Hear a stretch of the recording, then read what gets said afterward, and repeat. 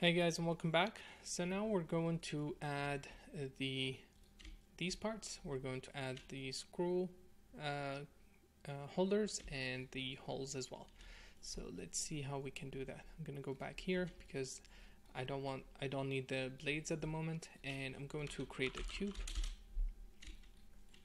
I'm gonna have it face the z-axis. I'm gonna change it to polygon, change the radius to 0.1 and height. I think we'll keep the height and let's add some more details. And I'm going to place this. Actually, I'm not gonna place it anywhere. I'm gonna leave it at the center and I'm gonna put down a grid. And with this grid, I'm gonna set it to 2, 2 and it's facing the uh, X and Y axis. And we wanna change the size to match the, the location that we need to. So something like that. Let's try 3 and 3, 4 and 4. Cool. So now we can transform this and dollar $cx and I'm not sure why the expression is not working anymore. So I'm gonna simply uh, change it by hand and all I need is four points that I can use to copy uh, to copy the tube to. So I'm gonna put down a copy to points and we want to copy the tube to these points. Boom, now we have that. And all we have to do now is do a boolean operation between that and the tubes. And what I'm going to do is I'm going to uh, combine both of them. So I'm going to put down a union union operation. And now we're combining those. And I'm going to make a copy of this. And we want to make another tube with end caps. And we want to make it smaller. And we want to make it bigger. And now we're going to run another boolean and this time we're gonna subtract that volume to make the holes. So we want the subtract and now we have holes. And we have connection here as well. So I think yeah I think I did. So let's do that. So here you can see uh, these these holes they don't have any details on them. Actually let's change this. Cool um, so these uh, edges here, they don't have any details and I'm going to turn on A seams, AB seams, and I'm going to put down a delete, group delete. Make sure I don't have any groups and I'm going to put down a bevel and we want to bevel those guys. Let's try 0.01 and let's put four edges, four uh, subdivisions, and let's put more. Cool. So now we have some nice, uh, some nice details for these holes, and same here. Cool. So I think we're pretty much done. Uh, we only have the other part we're going to be doing is this. So let's do that. Uh, let's do that now. It's actually pretty simple. I'm going to just start with a grid and just make some shapes. So I'm gonna make a grid and set it to 3 by 3 and we change the size to 2 by 2 by 2 and let's move some points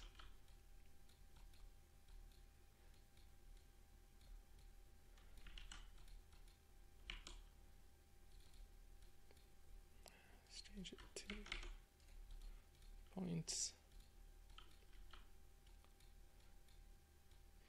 And with the we can use the bevel node on points.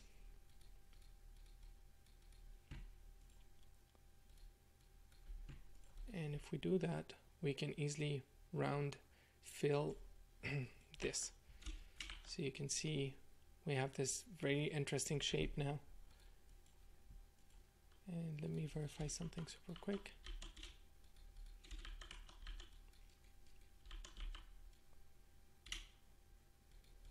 Cool.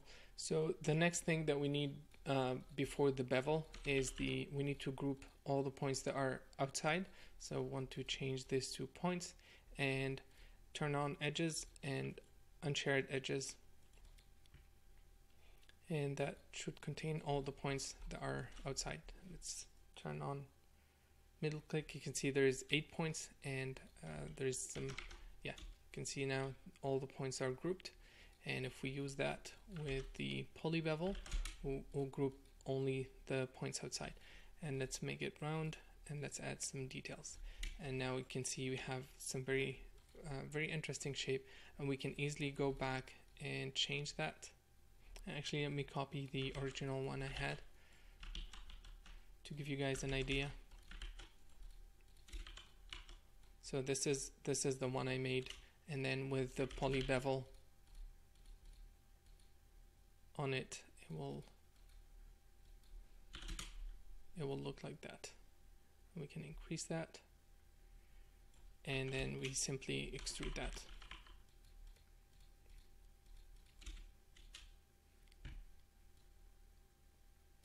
and output back and then we can bevel it.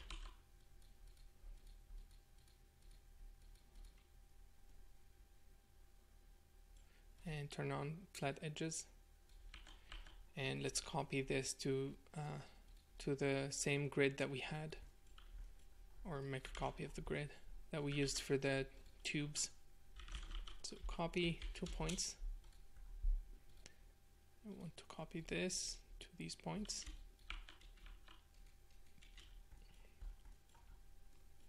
and let's template what we have and see how far we are so let's trans transform this and make it smaller. And it looks like the, oh, okay. Cool, so we need to orient these guys. So I'm gonna put down a point VOP and let's see if this works. I'm gonna subtract the uh, the normals, sorry, the position from the center. And this has yeah we need to find the center of the so I'm not gonna bother with that for the moment.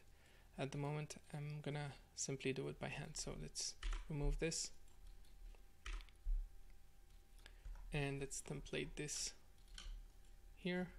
And let's move this one up. Something like that. And let's copy it. Let's put down a mirror node. That and then we're going to mirror all of this. Again along the y-axis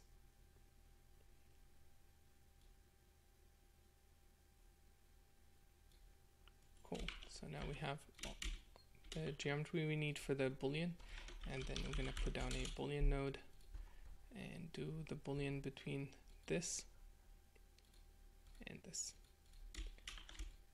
And let's move it out.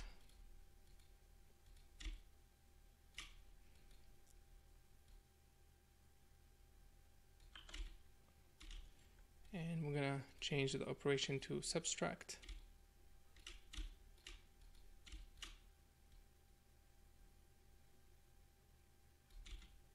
and there we go we're subtracting that detail from the mesh. And we're gonna turn on the again the AB seam here. And let's delete groups. Just to make sure. And let's bevel the intersection.